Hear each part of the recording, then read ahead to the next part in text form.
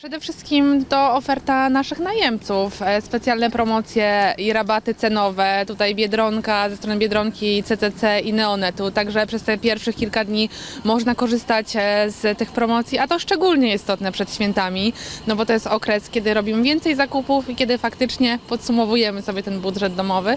A dodatkowo ze strony Metroparku na przywitanie klientów, e, poczęstunek w postaci kawy, herbaty i cukierków, coś na osłodę.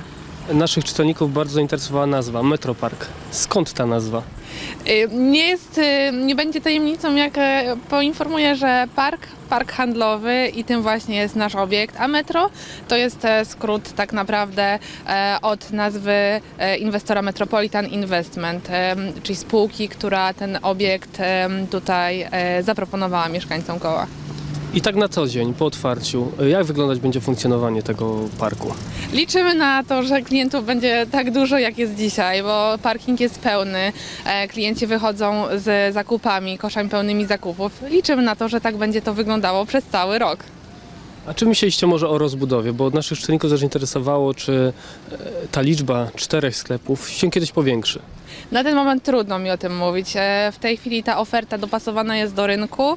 Zaproponowaliśmy tutaj marki, e, które będą sprawiały, że ten obiekt będzie cieszył się popularnością, ale też będzie sprawiał, że zaistnieje na co dzień możliwość zrobienia zakupów spożywczych, takich codziennych, stąd Biedronka, plus do tego przy okazji elektroniki, neonet, obuwia i tu też po nowym roku otworzy się Pepko, a jak wiadomo ofertę również ma szeroką i ciekawą.